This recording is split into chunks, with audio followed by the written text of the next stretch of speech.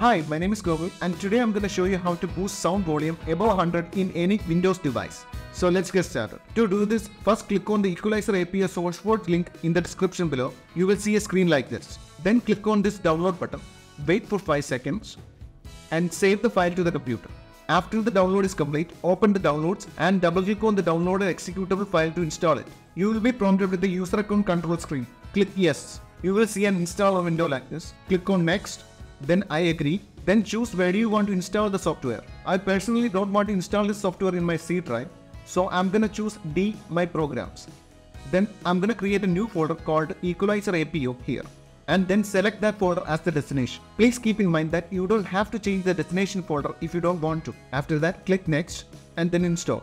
Once the installation process is complete, you will be prompted with a small window like this. Now choose the devices you want to boost the sound for. If you don't know which is your device or don't have the patience to check, I recommend selecting all of them like this.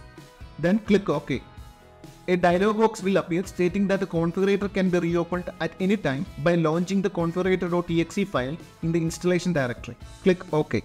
Now you will need to restart your PC. Make sure you have selected the reboot now option and then click finish. After the reboot, go to Equalizer APO's installation directory. In my case, it is in D My Programs Equalizer APO. Then double click on the editor.exe file to open it.